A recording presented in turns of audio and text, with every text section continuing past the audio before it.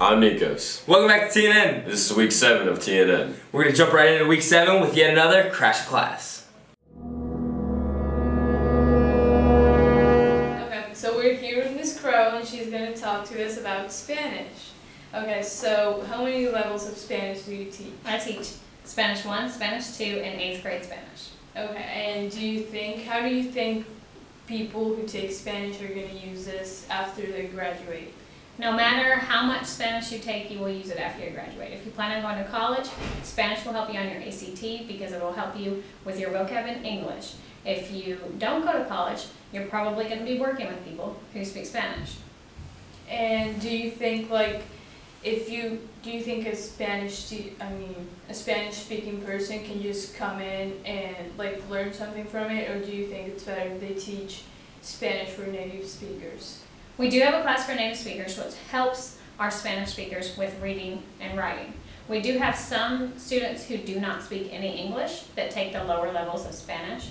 And while our students are learning low levels of Spanish, they're learning low levels of English. So there are always benefits for people who speak Spanish to take Spanish. With the upper levels of Spanish, which is not native speakers, some of our Hispanohablantes can enhance their reading and writing skills. A lot of them don't have a lot of practice with reading and writing by taking the upper level Spanish courses. Okay, and about Hispanic, I mean Hispanic achievers, is it like do you have to take Spanish class if you're in Hispanic achievers, or you- can you just join Hispanic No. achievers? Anybody who identifies with the Hispanic culture can join Hispanic Achievers. You have to have a minimum GPA of a 2.5, um, be able to afford the entrance fee into the club, and um, you have to get a teacher recommendation form filled out. Okay. Thank you. Now let's go on to another.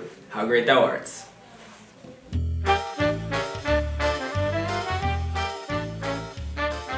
Hi, my name is Maggie Vandevelde, and this week on How Great Thou Art, we'll be interviewing the new art teacher, Mr. Cockle.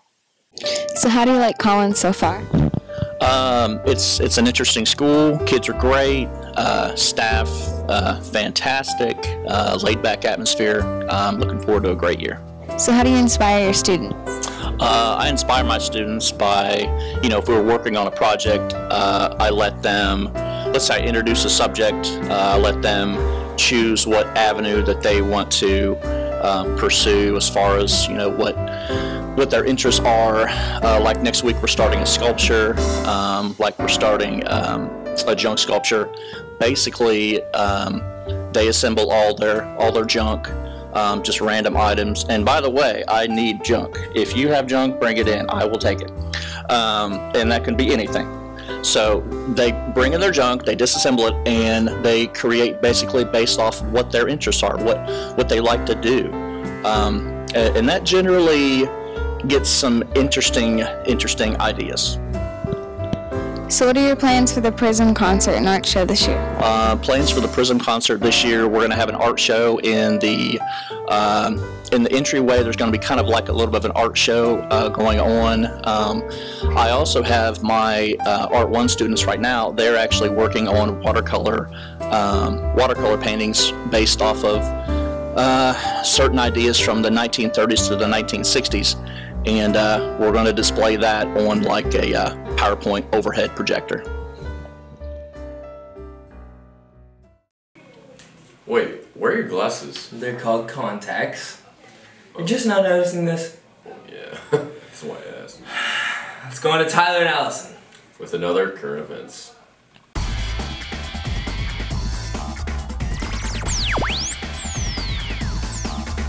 Hello, I'm Allison Vogt, and this week in current events, Vice President Joe Biden is backing a transgender military service. On October 3rd, during the Human Rights Campaign's annual dinner, Biden declared, No longer is there any question transgender people are able to serve in the United States military. Biden, who is known for his early support of gay marriage, has said that transgender rights are the civil rights issue of our time. According to Defense Secretary Ash Carter, the Pentagon's current rules on transgender military service are outdated. Along the same lines, the White House says that Obama, Obama supports a Pentagon review aimed at ending the long ban on the issue. Although this has been said, there is no definite evidence that the ban will be lifted. Ending the ban would be another step toward ending gender and sexuality based limits in the military. The review began in July and is intended to last six months in an attempt to determine the impact on the military's willingness to serve. The White House has avoided making an inference as to the outcome of the review, fearing that doing so would bring criticism against Obama for forcing politically driven changes regardless of the advice of his military commanders. Biden, on the other hand, has said that this should not be an issue. It's simple, said Biden. All Americans are qualified to serve, should be able to serve. Will we see transgender people in our military? I guess we'll see in six months. This is Allison Vogt signing off. Have a good day. Now let's go to a video about the upcoming Prism concert.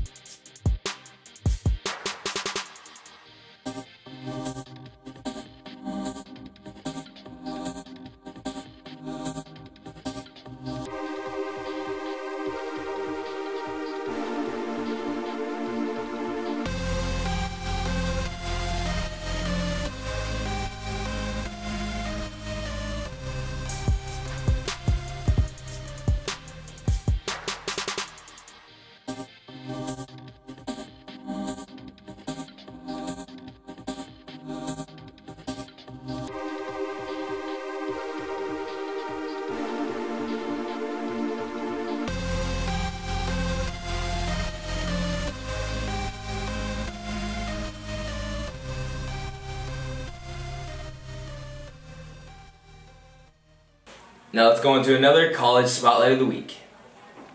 Now into another Hallway Talk Show.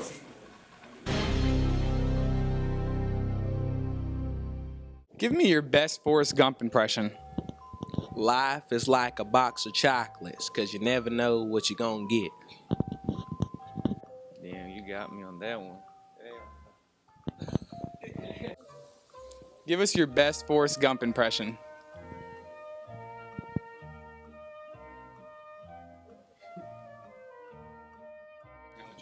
Life is about life is about a chocolates. You never know what you're gonna get. You don't know what you're gonna get. All right. Life is like a box of chocolate. I don't know who Forrest Gump is. Um, do you have a hidden talent that nobody knows about? Um, I don't know. I, I guess origami. Origami? Yeah, I can do a cartwheel. Could Could you demonstrate for us?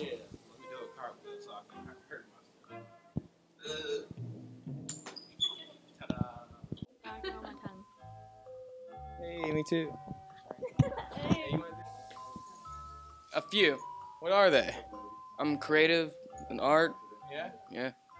That's nice. And uh, hope you guys all have a great fall break. And signing off from the Hallway Talk Show. Hey. Now on to Martha's Sports Report. Hi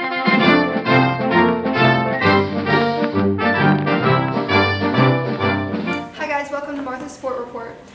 This is Ryan Goodlet and we're going to be doing um, a trivia round with her and Kyle Goss from our football team to see who can win the most or answer the most questions right. Okay, are you ready? Yes, I guess. On a traffic light, is the green light on the top or the bottom? Oh. the green light. The green light. Okay, yellow's in the middle. The bottom? Okay, whose face is on time? Oh no. Oh my gosh, I feel stupid. Is it a time? Try to picture. Is president? Um, Thomas Jefferson?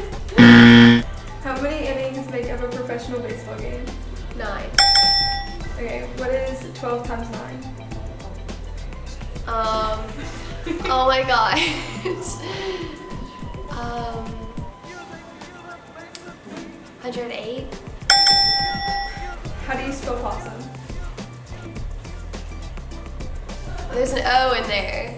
O P O S S U N. Who won the American, American Civil War? The the Union. What's the capital of New York? Albany. What are the primary colors? Red, blue, and yellow. How many yards are on a football field? 100. Who won the last Super Patriots. Hi guys, we're here with Kyle Goss, one of our football players, and we're gonna start your trivia now, okay? Are you ready? Yeah. Okay. On a traffic light, is the green light on the top or bottom? Bottom. Okay. Whose face is on the dime? I still don't know. Lincoln. How many innings make a pro- professional baseball game? What's 12 times 9? 108. How do you spell possum? P-O-S-S-U-M. Who won the American Civil War? Pass. What's the capital of New York?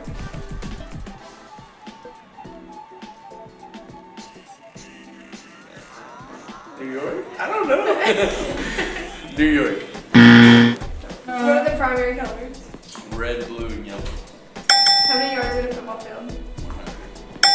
And who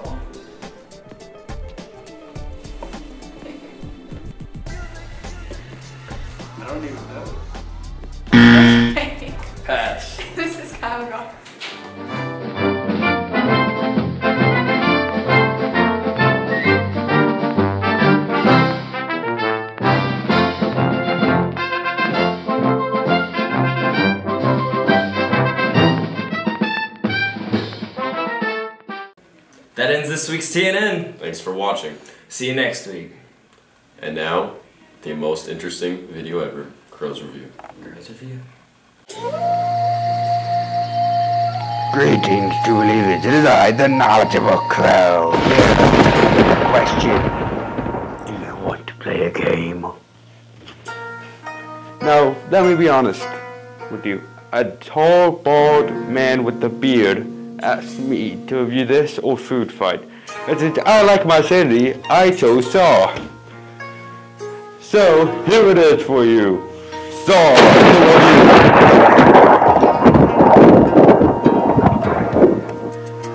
And yeah, so where do we begin? Oh yes, with the traps. The traps are ingenious. And half the time you think someone would be right behind you just about to grab you at any given moment in time. So yeah, not to mention the fact that, you know, Jigsaw's a genius. He planned for every single contingency which I find amazing. So, this movie series is a classic, a timeless classic. Now I just what, what, I gotta review the I gotta review the video game, but but that thing sucks. I have to because it's the series. Ah. Okay, fine. The Saw video game. Let's talk about that for a bit, or as I call it, Ow! Ow, the pain is real. Yeah. The video game hurts. It visually causes me mental pain playing it. It is annoying. The puzzles take forever. Not to mention that you can barely see. Combined with the fact that there's tripwires that instantly kill you when you trip on them around every corner. And since you can't see because it's like Curse of Darkness, or Silent Hill, it is a pain. You will often die over and over and over again. The battle mechanics suck. There's no point grabbing a weapon when your fists do more damage. To mention everyone you save is a jerk to you. Only one guy, one guy you save is good, is nice to you. And he dies five seconds after. What's the point of this? How much was the budget? Around a thousand? Good God, what did they spend it on? Because it wasn't on the game mechanics at all. Yeah, I bet they probably spent it on parties and all that. Okay, now that I got that out of my chest, do not throw in a chest burster. No, no, I said chest out of my chest, but that doesn't mean a chest burster. No, no, get back there. Anyways, now that I got that out, I'm expecting a chest burster any time now. Just for saying that. Anyways, so that was a time when Saw ruled the world. It was the bloody red king and it knew it. There was one every Halloween. But after this game, I find it kind of funny how after this game comes along, it ends. It's like some ominous black figure in a black hoodie came and stopped it all. Who even knows who that was? All I know is, good God Almighty, if it wasn't for this game, Saw would still have many, many, many sequels. I don't know who made this game. I don't care who made this game. It is bad. It's holding this game back. The series as a whole, because, including this game, is a 5.5 scores. The, but together, without the game, it is a 10 scores. With the game, 5. Do not buy the game, watch the movies. They're all good. The only thing the game's going for it is the fact that it come, brings back some old classic traps that you love to see. Other than that, no. Leave the game behind. It sucks. It literally blows chunks. I hope that game dies in a fire. It turned dubstep.